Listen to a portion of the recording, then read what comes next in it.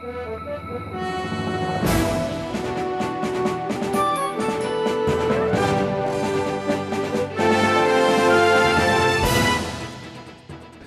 posledním letošním zasedání zastupitelstva města byly mimo jiné aktualizovány vyhlášky o odpadech a poplatku za psy. A dále byly schváleny ukazatele finančního hospodaření pro příští rok. Nejlepší žáky základních škol a gymnázií ocenila Havlíčko-Brodská radnice. Ceny dostávají nejlepší tři z každé školy a jedná se o pamětní list a peněžní odměnu. Na Havlíčkově náměstí a dalších místech kraje se v pondělí sešli lidé, aby projevili svoji nespokojenost s kauzami předsedy vlády a schováním politiků. Připomněli si také odkaz prezidenta Václava Havla.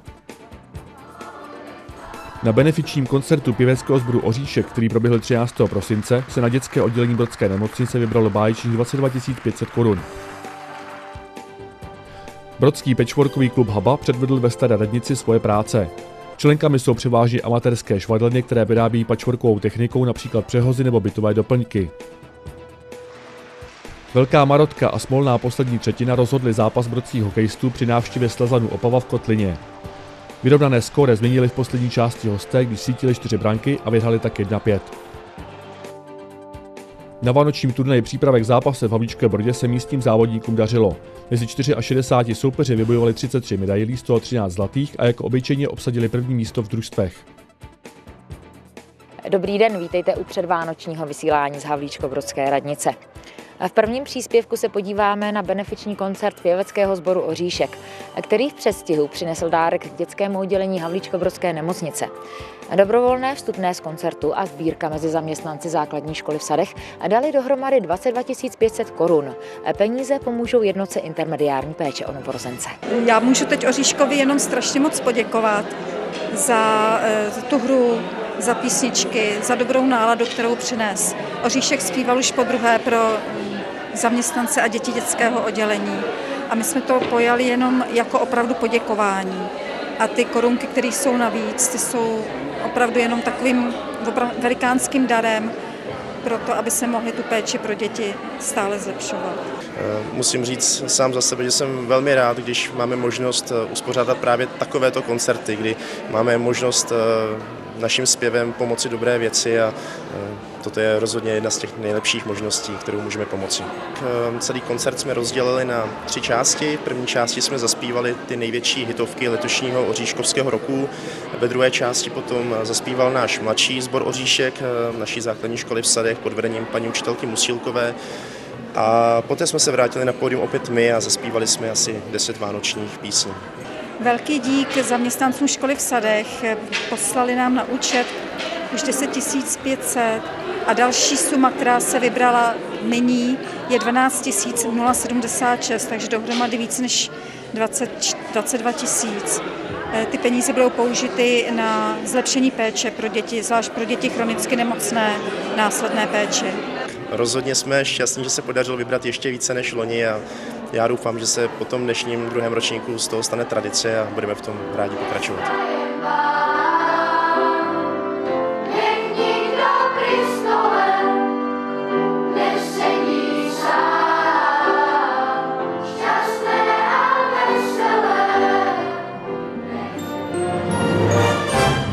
Revitalizovaná část parku Budoucnost ožila před Vánoci otevřeným kioskem s občerstvením, který provozuje kavárna AV Kave. Jde o sociální podnik, jež zaměstnává lidi se zdravotním handicapem. Já bych v první řadě chtěl poděkovat městu Havlíčku Brod, že mi vyšla vstříc, mě vyšlo vstříc a e, dokázalo a e, povolilo mi tady postavit tento stan, kde bych rád prezentoval v podstatě činnost našeho sociálního podniku. O naše zákazníky se starají e, vlastně mý zaměstnanci kavárny AVKV, která dává příležitost vlastně lidem se zdravotním handicapem a pro ně je to veliký zpestření vlastně jejich života jejich pracovní činnosti u nás. Využili jsme této příležitosti k tomu, aby jsme byli blíž eh, občanům Havlíčkova Brodu a mm, dokázali vlastně představit i první část revitalizace eh, parku Budoucnost a spojili jsme to vlastně s adventním časem tak, eh, aby občani Havlíčkova Brodu mohli posedět v této části, by mohli být obslouženi vlastně lidma, kteří to v životě nemají úplně jednoduché a spojili jsme tento vánoční čas vlastně v tomto příjemném posezení. Ve Vánoční jurtě je umístěna prodejní výstava, kde se prezentují i další sociální podniky a chráněné dílny. Kavárna pořádá v prostorách Jurty i doprovodné programy. Při našem natáčení se o zábavu příchozích staral ilustrátor a karikaturista Vojtěch Velický, který zvětšnil i náš televizní tým. Vánoční jurta s občerstvením bude doplňovat sváteční atmosféru v parku do konce prosince.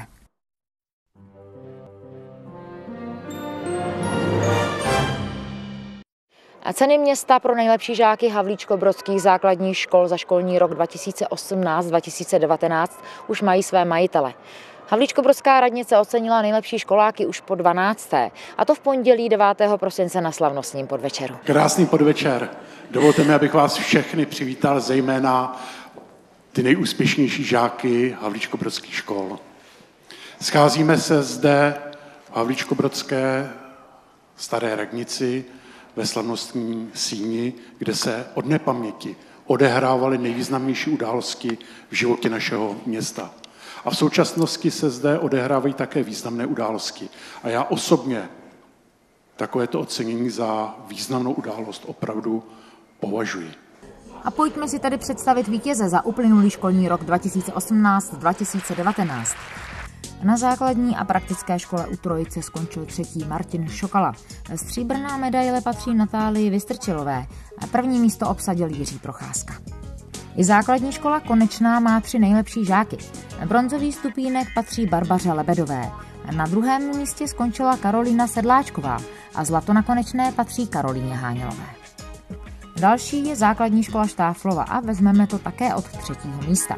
Adéla Pokorná, Lucie Osvaldová a Tereza Kubátová. A to je trojice nejlepších žáků na této škole. Naše další kroky povedou do základní školy Nuselská. Bronzový stupínek na této škole vybojovala Tereza Čejková. A stříbro patří Antonínu Pátkovi a zlato si odnesl Vojtěch Satrapa. A teď se přesuneme na základní školu v Sadech. Bronzová medaile patří Marku Doležalovi, stříbrná Jitce Musílkové a pomyslnou zlatou si odnesl Petr Novotný. A teď nejlepší žáci základní školy Volkerova. Třetí místo Adam Weingertner, druhé Terza Kubátová a první Veronika Blažejová. A takové je pořadí těch nejlepších na této škole. Ačkoliv gymnázium není klasickou základní školou, i tady plní žáci povinnou školní docházku a tudíž si i oni zaslouží ocenění města. A třetí nejlepší žákyní se stala Aneta Glatová. Na druhé místo vybojovala Natálie Cvanzigerová. A nejlepším žákem gymnázia byl vyhlášen Martin Kospert. Všem oceněným žákům gratulujeme a přejeme mnoho štěstí, zdraví a dalších studijních úspěchů.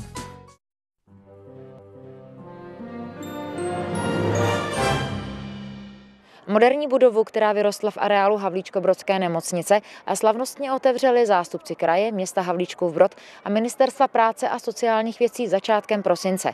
V krajském zařízení najde domov 109 klientů.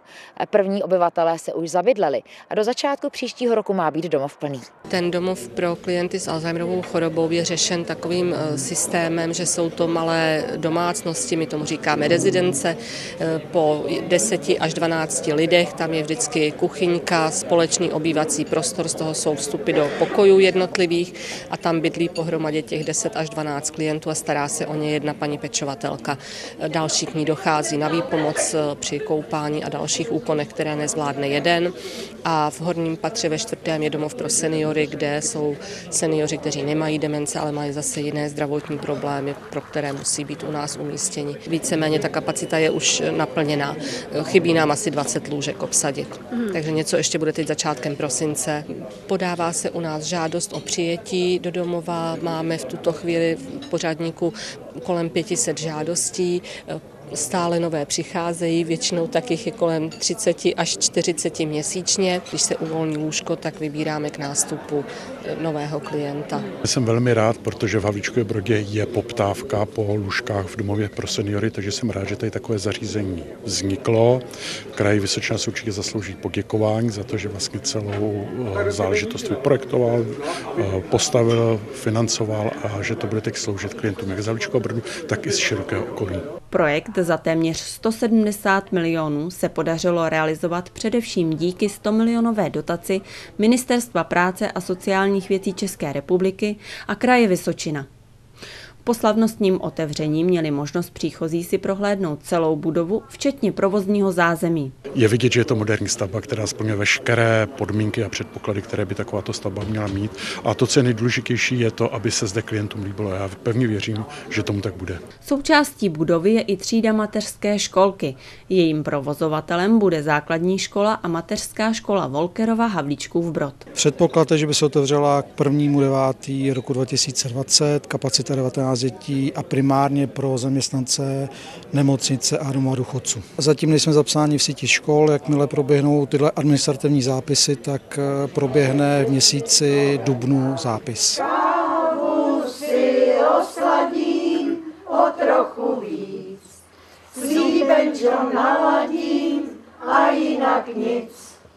Osalím sám vánoční svátky a na jaře si vrázky spočítám, kávu si osladím o trochu víc. Začal nám adventní čas, tak já bych chtěl všem popřát, aby byli v pohodě, aby si advent užili, užili si svátky vánoční, aby panovala láska, pohoda, aby se lidé na sebe usmívali, aby k tomu měli důvod a toto vše platí také pro klienty tohoto domova a já moc si přeji, aby byli spokojení a byli pišní na to, že tady mohou bydlet. A na závěr bychom vám rádi připomněli předvánoční trhy na Havlíčkově náměstí, na které se můžete těšit od čtvrtka 19. do neděle 22. prosince. Na štědrý den vás pak zveme na troubení kolec z balkónu Nové radnice, které začíná od 15 hodin. A za celou redakci vám přejeme klidné a pohodové svátky. Mějte se hezky a naviděnou.